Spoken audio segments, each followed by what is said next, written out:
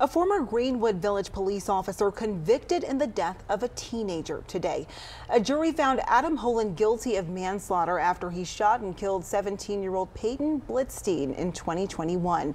According to arrest documents, Adam Holen confronted a group of teens about careless driving and exchanged gunfire with Blitstein. He was fatally shot. Now his father wants to make sure his son is remembered for who he was, not how he died. Denver 7's Colette Bordelon reports. What do you want?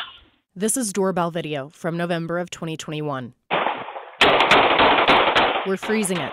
I'm not showing any more because this is the moment. Oh my God! Hey! 17 year old Peyton Blitstein was killed. The memories that come in, into mind are how good of a person he was, how good of a kid he was, how he always wanted to help everybody out. Todd Blitstein fought for his son every day for more than two years. I know he's excited that were able to come to a closure. On Tuesday, a jury convicted former Greenwood Village police officer Adam Holen of manslaughter in the case, deciding to choose a lesser charge instead of second degree murder. We are disappointed that it wasn't the murder two charge.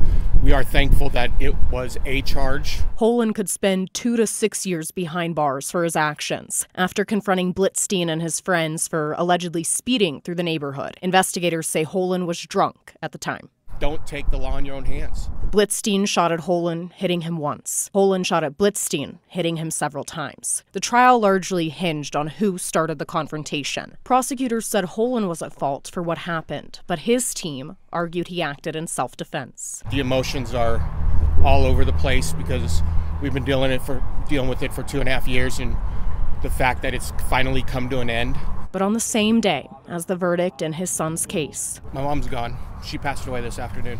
Todd lost his mom too. Peyton was her baby. They used to watch TV together, eat together all the time.